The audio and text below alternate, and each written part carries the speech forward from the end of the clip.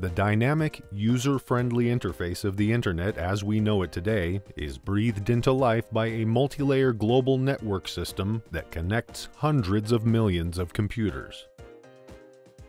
If you are watching this video, it is because a sophisticated signal transmission system has been developed and implemented over the years.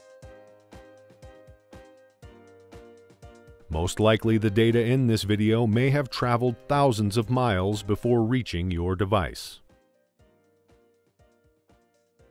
In this video, we will try to figure out how does the internet work by explaining where this data is coming from and which path they need to follow in order to reach every single user connected to the network.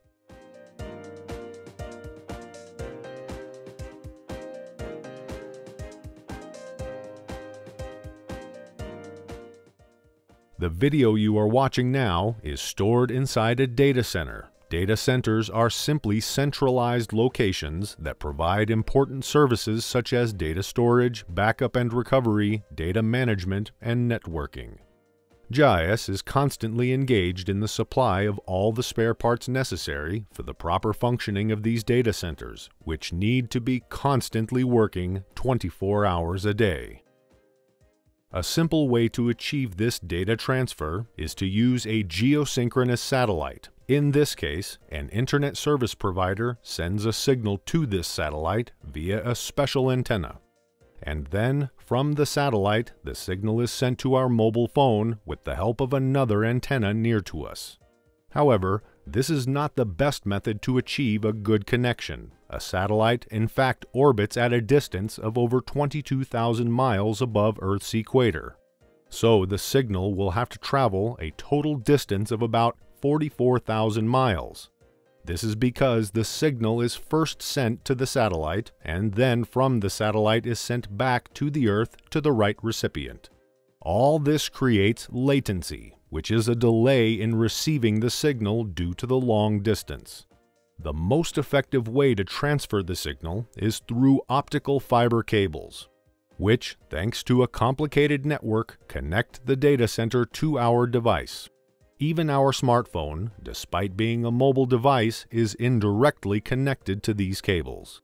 The cellular radio towers, in fact, are connected to this optical fiber cables network. Their antennas receive the signal from the underground network. Then, the signal is converted into an electromagnetic wave, so as to be picked up by the antennas of our phone. As we mentioned earlier, this video you are watching is stored inside a data center. More precisely, inside a solid-state device. This SSD represents the internal memory of a server, which is basically a more powerful computer.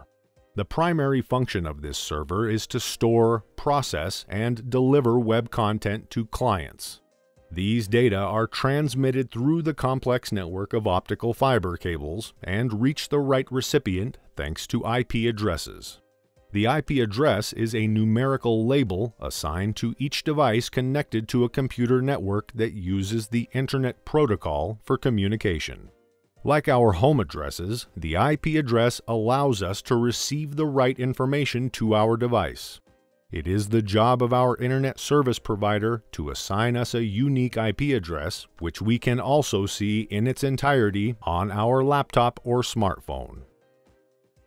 Even the server in the data center has their own specific IP address. In fact, the IP addresses of any website are stored in a server.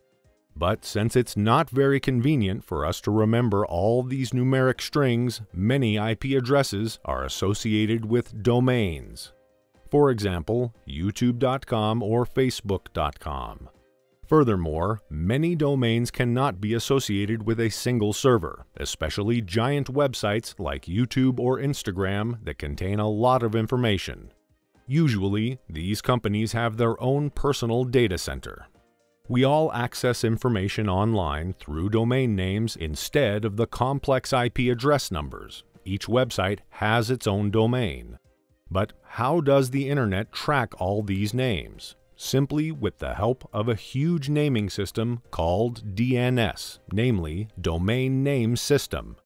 This system is basically the phone book of the internet, We use a phone book every time we don't remember a certain person's phone number, but we remember exactly his full name, so it will be much easier for us to find his number through his name than the other way around.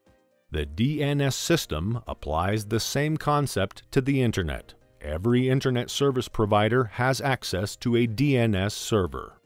So, to recap, when we enter the domain name, our browser sends a request to the DNS server to get the corresponding IP address. After getting the IP address, our browser simply forwards the request to the data center, to the respective server. Once the server gets a request to access a specific website, the data flow starts. The data is transferred in digital format via optical fiber cables more specifically in the form of light pulses. Very often, these light pulses have to travel thousands of miles before reaching their destination, and during their journey, they often have to go through tough terrains such as hills, mountains, or even under the sea. For this reason, there are a few global companies dedicated to delivering subsea network connectivity on a global scale. These companies are specialized in submarine cable installation. In the second part of this video, we will see how fiber optic cables are laid on the seabed and how the data finally reaches our laptop and smartphone.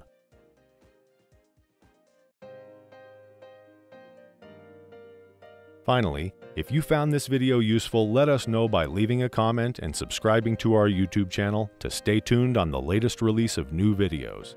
Find out our next projects by visiting our website, jaescompany.com. Thanks for watching.